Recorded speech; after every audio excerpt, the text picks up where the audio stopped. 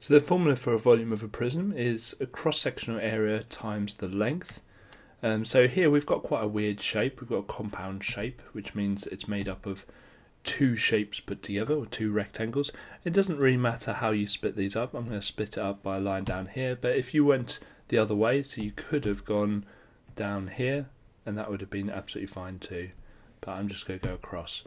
So um, rectangle A and rectangle B. So area of rectangle A.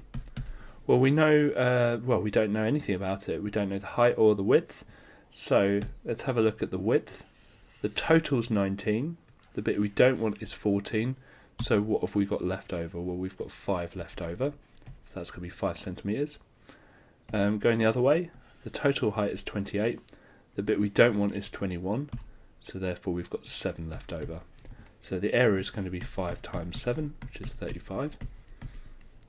And area of B, uh, I think this is labelled, so it's 19 across and 21 up. So I use my calculator, 19 times 21, which is 399. So the cross-sectional area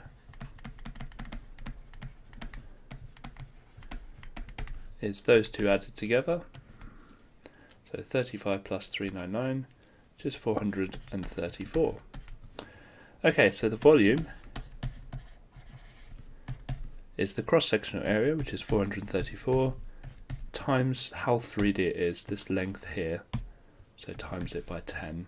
So that's going to be 4340 centimeters cubed.